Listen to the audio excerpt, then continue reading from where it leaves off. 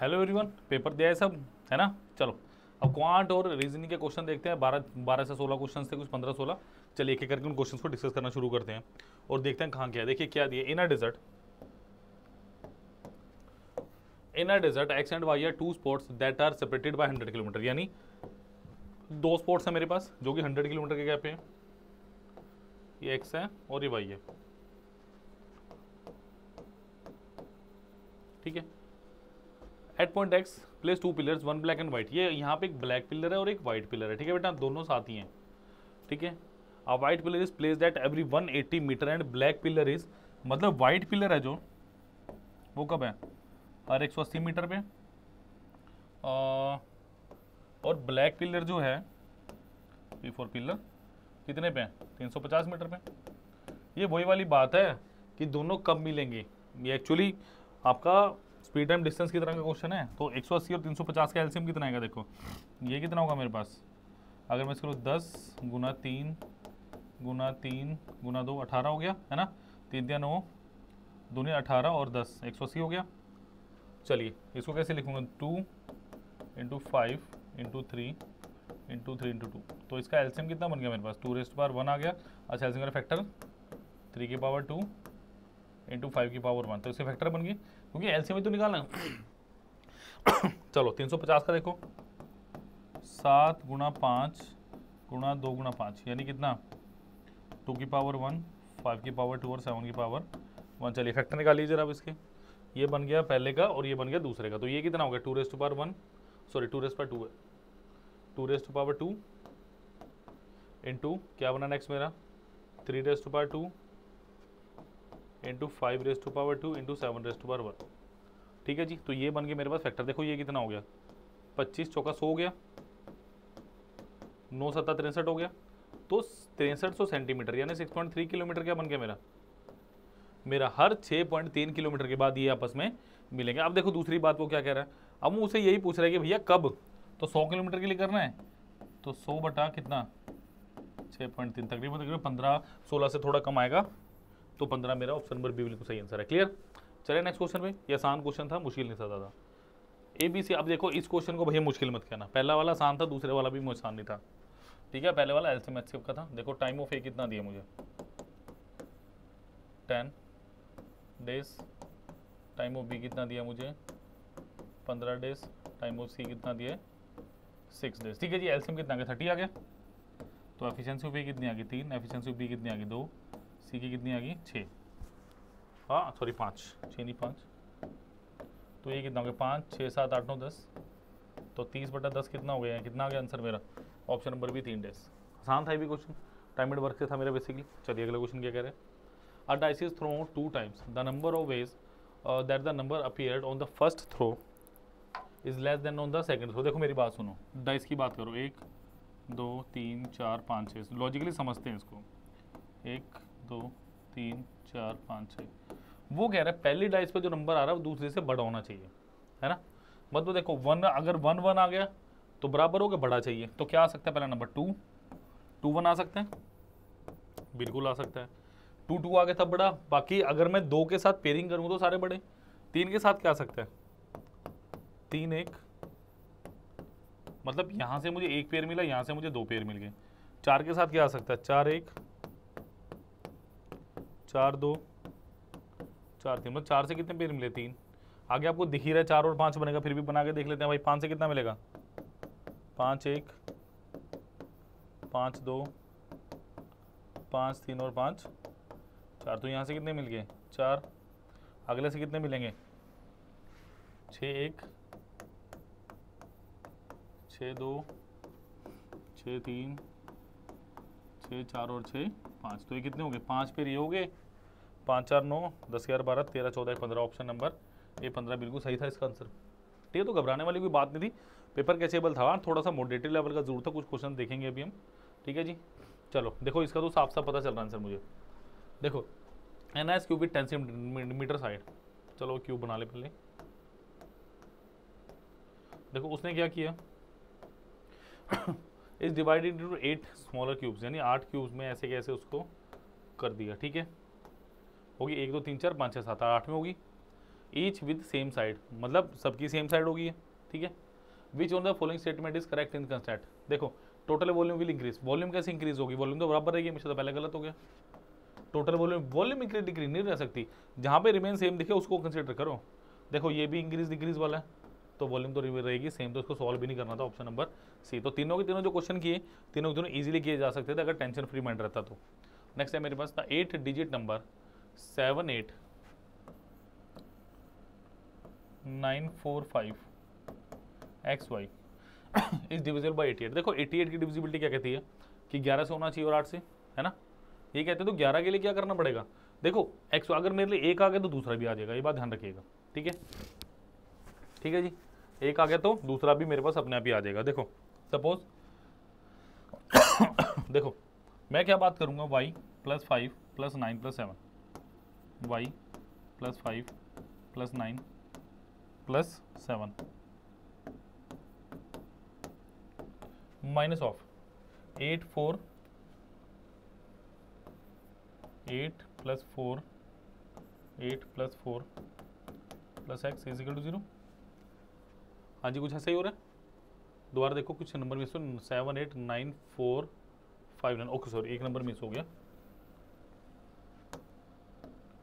Seven eight nine four five nine X Y ठीक है? ग्यारह की डिविजिबिलिटी चेक कर लो। सो so, कितना? Y nine four eight.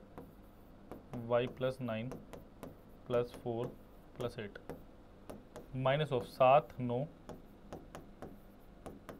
Plus no plus X is equal to zero ठीक है? अब देखो ज़रा क्या था मेरे पास? अगर मैं देखूँ वाई आठ नौ सत्रह चार इक्कीस माइनस और एक मिनट यहाँ कुछ गड़बड़ी हो गई है। Y plus nine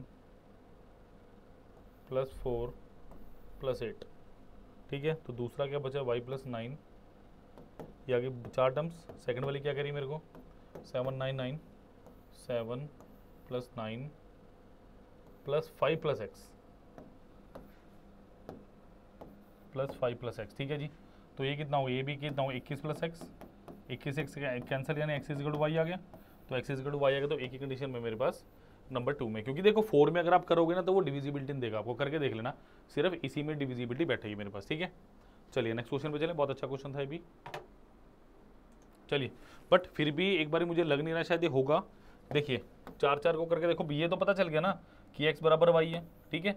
तो मैं अगर इसकी डिविजिबिलिटी देखूँ ना, चार की तो मेरे को चार ज़्यादा अप्रोप्रिएट लग रहा है, इसमें चार और चार ही आएगा, ठीक है? क्योंकि जब मैं नाइन जैसे मैं एट की अगर देखूँ ना nine forty four divided by eight last के तीन नंबर्स को मैं डिवाइड करने जाऊँ तो क्या ही कटेगा देखो? आठ सौ एक सौ बिल्कुल ये कर देगा तो आंसर मेरा ऑप्शन नंबर डी है। तो ग्यारह के साथ मैंने आठ की डिजिबिलिटी चेक कर लिया तो आंसर आ गया मेरे पास, ठीक है? नेक्स्ट क्या है? If X is the smallest number that is divisible by both 24 and 30 देखो 24 एंड 30 से कौन सा नंबर डिविजिबल होगा? जो इनका एलसीएम होगा, कितना होगा? 120 होगा। सिंपल क्वेश्चन यही कह रहा है मुझे। Where Y is the largest natural number that divide thirty six hundred देखो थर्टी सिक्स और हंड्रेड को एक ही नंबर डिवाइड करेगा तो सबसे बड़ा होगा चार। छः नहीं डिवाइड कर सकता, क्योंकि जो मेरे पास छत्तीस के फैक्टर्स होंगे, उसी में जा सकता हूँ मैं। ठीक है तो आंसर कितना आ गया? एक सौ बीस माइनस चार कितना आ गया? ऑप्शन नंबर एक सौ सोलह। चलो भाई, देखो ये क्वेश्चन बड़ा आसान था, इसका आंसर तो आँख बंद करके छः लगा दो ऑप्शन नंबर सी बिल्कुल सही था। ठीक है? नेक्स्ट देखो क्या है? रन कंप्लीट आ ये अच्छा क्वेश्चन था दैट इज़ इंपॉर्टेंट क्वेश्चन बहुत अच्छा question R run completed a forty kilometre race in three hours she changes her speed after completing each quarter देखो भाई, वो क्या कह रहा है? कि चार है मेरे पास, ठीक है? टोटल रेस कितने किलोमीटर की अपने पास? टोटल रेस है मेरे पास चालीस किलोमीटर की। तो दस दस ईच क्वार्टर यानी दस और दस, ठीक है? अब वो क्या कह रहा है? ये दो, मेरे को क्या बोल रहा है? फ़र्स्ट सेकेंड द स्पीड देखो स्पीड का रेशो कितना दिया मुझे? दो रेशो तीन रेशो चार रेशो पाँच। ठीक है, देखो distance is equal to speed into time ठीक है जी? तो स्पीड कितनी आ गई? डिस्टेंस अपॉन टाइम जब डिस्टेंस कांस्टेंट होता है तो स्पीड और टाइम मेरे इन्वर्सली प्रोपोर्शनल होते हैं. ठीक है जी? हाउ मच टाइम तो टाइम कितना हो जाएगा मेरा? स्पीड का उल्टा, यानी one by two one by three one by four and one by five तो इनका एल्सियम ले लो, साठ आ गया. हर एक वैल्यू को साठ से गुना करो. हर एक वैल्यू को करो आप साठ से गुना तो ये कितना हो गया? तीस. नेक्स्ट हो गया बीस नेक्स्ट हो गया पंद्रह और नेक्स्ट कितना हो गया? बारह। देखो मेरी बात सुनो, तीस, पचास, साठ, सत्तर सेवेंटी सेवन उसने बोला टोटल कितना टाइम लिया भाई? फोर्टी किलोमीटर है ना? और sorry forty kilometre three hours ये सारा मिनट्स में तो मैं क्या कह सकता हूँ? सेवेंटी सेवन यूनिट्स की वैल्यू कितनी होगी मेरे पास? सेवेंटी सेवन यूनिट्स की वैल्यू एक सौ अस्सी मिनट सो एक यूनिट की वैल्यू कितनी होगी? एक सौ अस्सी बटे सतहत्तर। मुझे कितने की वैल्यू निकालनी लास्ट वाला बारह। इंटू बारह। जो तकरीबन तकरीबन मेरा ऑप्शन नंबर डी अट्ठाईस के इक्वल आएगा जब कैलकुलेशन करेंगे ठीक है तो बहुत अच्छे अच्छे क्वेश्चन आए हैं भैया। चलो भाई, ये बहुत अच्छा क्वेश्चन है। There are each enough coins of denomination one two five then in how many ways can pay रुपये टेन भैया, दस रुपये कितने वेज में दिए जा सकते हैं?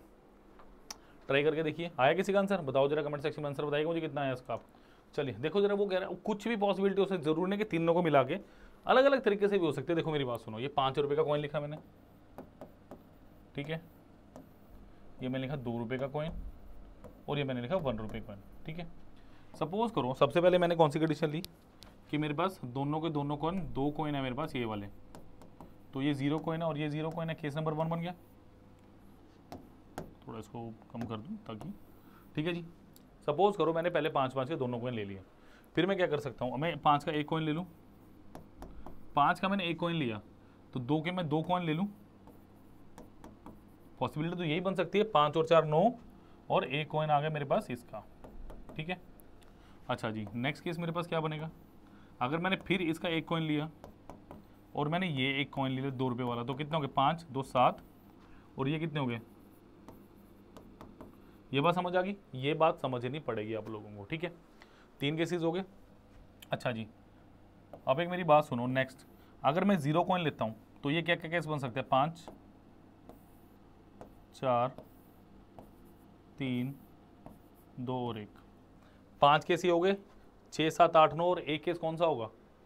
एक केस कौन सा होगा? जब सारे के सारे मैं कौन से कौन से लूँगा? देखो, मैं दो, मैं पाँच रुपये वाले सारे कौन एक बार ले चुका हूँ। एक बार मैंने ये वाले कौन ले लिया एक बार मैं दस, एक एक के दस कौन लूँगा बस। तो टोटल केस कितने बन गए मेरे पास? ऑप्शन नंबर सी दस केस बहुत ईजी सा क्वेश्चन था बट थोड़ा सा आपको थोड़ा सा थोड़ा सा थोड़ा सा ध्यान देना पड़ेगा। समझ आ बात? चलिए। A train length 700 meter takes 15 second to cross a train. Length 300 meter traveling at 160 kilometre per hour देखो मेरी बात सुनो। टोटल डिस्टेंस क्या होता है?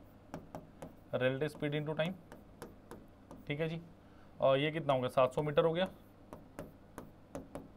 तो रिलेटिव स्पीड कितनी आ गई मेरे पास? 60 दूसरे के मान लो पी इंटू पाँच बटे अठारह। और टाइम कितना दिया बेटा मेरे को? टाइम दिया अपने को पंद्रह सेकेंड है ना? तो तीन पंजे पंद्रह और तीन छिके अठारह। तो ये किससे कटेगा? एक सौ चालीस। और ये किस पे गया? अट्ठाईस पे गया। तो अट्ठाईस गुना छः कितना आ गया? छः दूनी बारह, one forty eight is equal to sixty plus P. तो पी कितना आ गया? और पी कितना आ गया मेरा? सॉरी छः दूनी बारह और छः अट्ठा अड़तालीस one sixty eight, one sixty eight. तो ये कितना आ गया? ऑप्शन नंबर ए, ये कितना है मेरा? One sixty eight. One sixty eight minus sixty how much option number one zero eight is the right answer of this question ठीक है? चले नेक्स्ट क्वेश्चन में जीधा है भी चलो there is a water tank in the form of rectangular parallelepiped height 1.1 metre and square base of 2 metre देखो मेरी बात सुनो ध्यान से। A full tank water is drain out completely in a long pipe of circular section area of radius 1 centimeter what should be the minimum length of the pipe in kilometer to hold the entire water in it. देखो भाई, अगर देखो परपेलोपाइड देख क्या होता है, मेरे पास एक प्रिज्म स्ट्रक्चर होता है, ठीक है? अब प्रिज्म स्ट्रक्चर वो होता है, जो टॉप से बॉटम तक सेम रहता है, ठीक है? अब इसमें क्या, उसका क्या होता है area of base into height उसकी होती है वॉल्यूम अगर वो आप एक सिलेंड्रिकल पाइप में डाल रहे हो तो उसकी वॉल्यूम क्या होगी pi R square H volume तो सेम रहने वाली ना वॉल्यूम में तो चेंज नहीं होगा, यही तो बात है। तो ये कितना हो गया भाई? 200 गुना 200 गुना हाइट दिया वन पॉइंट वन इन एक सौ दस होगी। ठीक है? इजिकल टू बाईस बटे सात रेडियस कितनी दिया? One into one into of height कितनी है मेरे पास? हाइट तो निकालनी है। तो ये कट गया पाँच से। तो कितना है मेरे पास? देखो, पाँच, दोनों दस, दोनों बीस बीस सत्ता। तो आंसर ऑप्शन नंबर सी है मेरे पास। ठीक है जी? कुछ नहीं कर रहा था। A person buys ten pen and eight pen से देखो ten pen plus eight pencil ten pen plus eight pencil कितने रुपए की? दो सौ रुपये की। And price of the each pen each pen is same and price of each pencil same ऐसा नहीं है कि पेन और पेंसिल का सेम है, वो कह रहा है, अब जो दूसरी कंडीशन है पेन और पेंसिल का रेट मैंने चेंज नहीं किया। If it cat bought five pens plus twenty four pencil ये भी दो सौ रुपये की। बात ख़त्म। इसका मतलब प्राइस दोनों का सेम है तो मैं क्वांटिटी को कंपेयर कर सकता हूँ। तो ten pen plus eight pencil equal to five pen plus twenty four pencil तो बेटा ये कितना हो गया? फाइव पेन बराबर सोलह pencil so pen upon pencil कितना आ गया मेरे पास? सोलह बटे पाँच.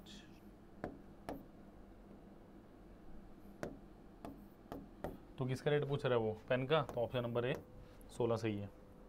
चलिए in a school of hundred students and every student play either cricket और फुटबॉल और बोथ ये तो वैन डायग्राम का क्वेश्चन लग रहा है।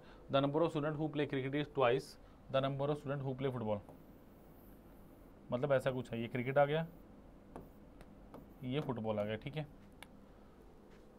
मतलब क्रिकेट प्लस फुटबॉल मिला के कितना है? टोटल मेरे पास हंड्रेड है। मतलब इस टोटल वैन डायग्राम का सम है जो मेरे पास वो हंड्रेड दिया स्टूडेंट्स ठीक है? Also the number of student who play cricket is thrice the number of play student who play football only so three P हो गया और ये कितना हो गया? पी हो गया, ठीक है? नेक्स्ट क्या बोला? The number of student who play cricket football is देखो इसको के मान लो। इसको के मान लो। अब देखो क्रिकेट खेलने वाले कितने भाई? थ्री पी प्लस के और वो कह रहा है the number of student who play cricket is twice the number of play who play football यानी twice of P plus K. ये क्या होगा सिर्फ़ फुटबॉल ये क्या होगा मेरे पास क्रिकेट? तो three P plus K is equal to two P plus two K तो बेटा कितना गया? Three P minus two P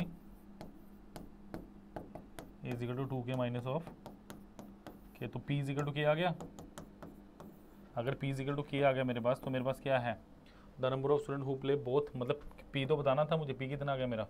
तो three P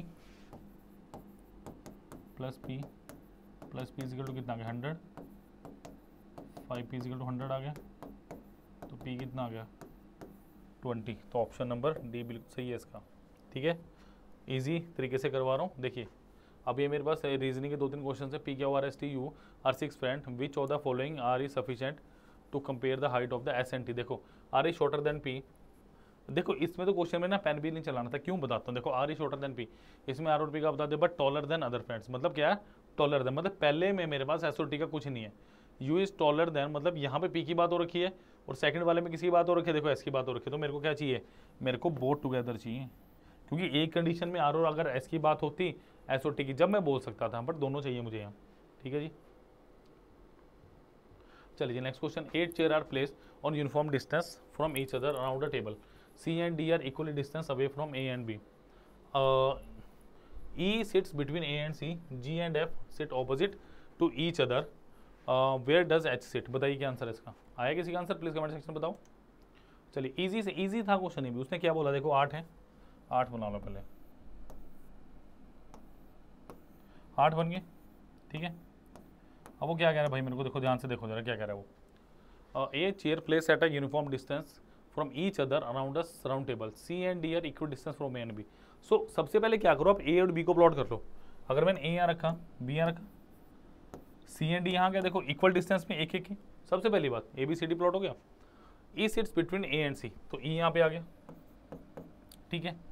और A sits between A and C G and H opposite to each other देखो G और H opposite है। जी H को कहीं भी उठा लो इधर उधर हो सकता है। आप देखो एक बचा एच एच आएगा यहाँ पे तो एच कहाँ पे है? एडजेसेंट टू ए तो नहीं है। एफ़ भी नहीं है तो ऑप्शन नंबर ए बिल्कुल सही है। लास्ट क्वेश्चन बचा मेरे पास। चलो भाई।